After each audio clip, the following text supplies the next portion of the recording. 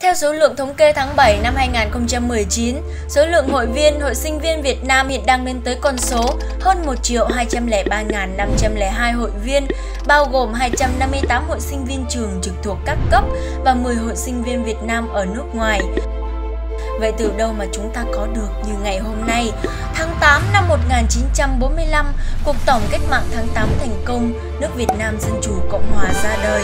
từ năm 1947 đến năm 1949 ở Sài Gòn, Huế, Hà Nội đã thành lập Hội học sinh kháng chiến, đoàn sinh viên kháng chiến, sau đó phát triển ra nhiều trường ở cả ba miền Bắc, Trung, Nam. Ngày 9 tháng 1 năm 1950, Đoàn Thanh niên Cứu Quốc và Đoàn học sinh Sài Gòn chợ lớn đã vận động và tổ chức cho hơn 2.000 học sinh sinh viên các trường cùng nhiều giáo viên và 7 ngày nhân dân Sài Gòn chợ lớn biểu tình đòi trả tự do cho những học sinh sinh viên bị bắt và mở lại trường học.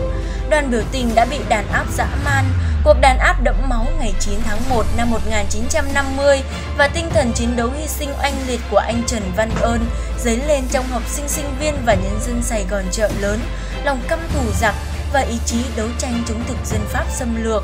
Nối tiếp truyền thống, Đại hội đại biểu toàn quốc Hội học sinh sinh viên lần thứ 5 ngày 22 đến ngày 23 tháng 11 năm 1993 tại thủ đô Hà Nội đã quyết định đồng thời lấy ngày 9 tháng 1 làm ngày truyền thống của Hội sinh viên Việt Nam. Tính đến nay, Hội sinh viên Việt Nam đã trải qua 10 kỳ đại hội đại biểu toàn quốc, Mỗi đại hội là một mốc son đánh dấu sự phát triển của sinh viên Việt Nam, của phong trào sinh viên và công tác hội sinh viên Việt Nam. Năm 2009, đại hội thứ 8 của Hội sinh viên Việt Nam đã chính thức phát động cuộc vận động sinh viên năm tốt và được phát triển thành phong trào sinh viên năm tốt từ đại hội lần thứ 9 năm 2013 gắn với năm tiêu chí đạo đức tốt, học tập tốt, thể lực tốt, tình nguyện tốt và hội nhập tốt. Với những thành tích đạt được, Hội sinh viên Việt Nam đã vinh dự được nhận các phần thưởng cao quý. Huân chương độc lập hạng nhất năm 2000, Huân chương Hồ Chí Minh năm 2005 và Huân chương sao vàng năm 2010.